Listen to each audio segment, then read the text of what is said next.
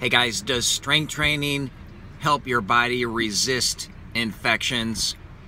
It does, surprisingly. In fact, I'm writing an article about it right now for a local magazine. Should be available early next month, but it's entitled A Pandemic Paradox, addressing this issue that strength training does play a role in helping your body to resist infections.